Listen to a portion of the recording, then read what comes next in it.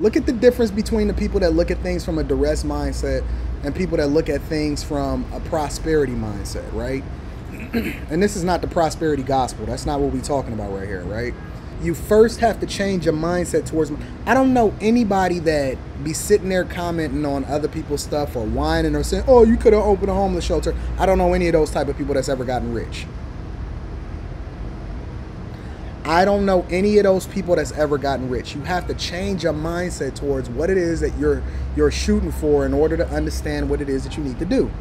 Because once you change your mindset, then you start actually manifesting it by putting the work in. Think about it. We talk about faith all the time, right? People always talk about faith. You just gotta have the faith of the mustard seed. No, that's only half of the equation faith without works is dead. You actually have to manifest it through your mind and then put the work in to actually have God meet you halfway. You can't just do it by itself. You got to actually put the work in. But without the mindset, you're never to execute and put the work in. That's just that's just real. You know, one of my favorite people is Rick Ross. One of my favorite people is Ross. And let me tell you why he's one of my favorite people. Because he's not the highest selling artist, right? but it's his consistency. Despite all of the opposition, despite all of the problems, despite any kind of issues, despite not being the highest selling artist, he's the owner. And despite having the odds against him, he's consistent enough to actually get to the results. And I like his mindset. It's his mindset um, that often leads to some of the best results, right? So I was looking at an article and I was actually looking at Shout out to E. Let me see what E talking about. He said, "Have a drink on me, cheap." I pre. Thank you, my friends, for supporting the platform. I jump on this and I make sure I have these conversations with you guys every single day, so I can hopefully add value. Take time out of my days for you guys to pour into me with the super chats, with the cash apps, with anything. Patreon members that love me, I try to give it back to you guys. I appreciate y'all for holding me down. Thank you so much, my friend. Um, but I like his mindset, and a lot of people don't like it because they can't relate to it, but I absolutely can, right? And in this specific article and in one of these videos that I was watching, he said that he bought a $1 million mansion just to ride by the place that he wind up buying before he owned it, which is the Holyfield Estate, which I think he called it something like the, I don't remember what he called it. But he said he bought a $1 million mansion just to ride by the place that he wind up buying. He visualized that stuff, right? He had to change his mindset to even feel like he can afford and get to a certain type of space to even even be able to buy that type of stuff. I'm gonna just tell you the biggest distraction for you guys. y'all put all y'all energy in a in a selling drugs, scamming, hating other people. You spend all of your time whining and complaining about other people when in reality if you spent the, the majority of that energy and change your mindset towards how it is that you look at money you would have completely different results. So first it starts with the mind. Because every day i give you the information. I broke down zillow. I break down the different stocks. I pour into your businesses but half the time is this you got a worker's mindset you got a duress mindset. But anyway, let's get into the article a little bit, right? So he's the current uh, uh, owner of the largest residence in the state of Georgia, but before he per- purchased the Promised Land, yeah, he renamed it to the Promised Land. He manifested the major investment by moving in nearby.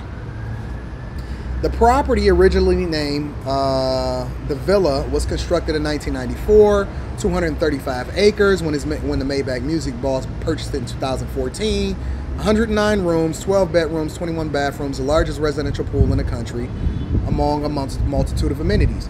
Here's the thing, though. Here's the thing, though. I don't need 100 rooms, right? But he did and that's what he wanted. And so the fact that he has the option to even be able to do it and then he exercised that option is the thing that you want right? Nobody got nobody's telling you guys that you got to have the biggest estate in your city. What i'm telling you is that you got to have the option to buy whatever it is that you visualize but first you got to visualize it first. I don't know nobody that's ever got to where they got without first being able to manifest it within their mind. It's first mental Real estate has always been an asset. Yep, we went over that. Uh, he said you can make a new car. We got to be able to write that off though. You can make a new car. You can't make that corner. You got to buy that corner. If my last name is on it, you got to come and see me. He knew what he wanted. He understood what assets was, and he started to make his move.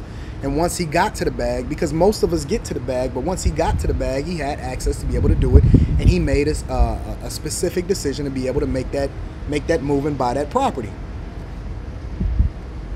Um, Ross plans to expand the former home, buy an additional 87 acres thanks to an adjacent property he purchased for $1 million, right? Homes was something he was always fascinated about, so him and his homies started coming up to Atlanta, and he used to ride by there all the time. So they wasn't just there hanging in a hood; they was there trying to understand exactly what the what the goal was and trying to figure out how they can get there. Stop, pull over, smoke one, and just be like, "God damn." After I got my deal in my situation, I bought a million dollar home maybe two minutes from here that I still own that's right around the corner just so I can ride by it every day while I'm in Atlanta. And that's what the play was. Now check out the duress mindset. Check out the duress mindset. Watch this.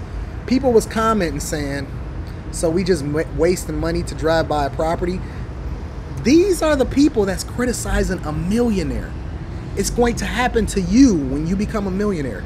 It's a duress mindset. Look, Man, go open a homeless shelter. Ain't nothing like broke people telling rich people how they supposed to spend that money. Man, go open up a homeless shelter. Shut the hell up. Ain't nobody trying to hear that. Anyways, the producer businessman also discussed ways that he allow in his lavish home, which he check this out. This is the play. To create more wealth from himself for himself which includes film, television production, and open it up to the public in certain ways. He finessing the game. Not only does he have the home, but he's using it as an asset to make even more money. He owns the real estate, now he's using it in order to pay for itself. Check it out. Different films, videos, visuals, the automobiles, and the list goes on. You'd be amazed at how many offers I get every week for marriages, this and that. Yo, we just want to rent it. How much is it per hour? we put it on a platform and in a position where it's something that people from different countries just want to come. Even told the security to stop wasting his time telling people they can't pay pay money to take pictures by the gate. Coming to America 2, Superfly, Drop Dead Diva is just some of the projects that the estate was used as a backdrop and he reportedly only paid 5.8 million for the property. He only paid 5.8 M's for the property.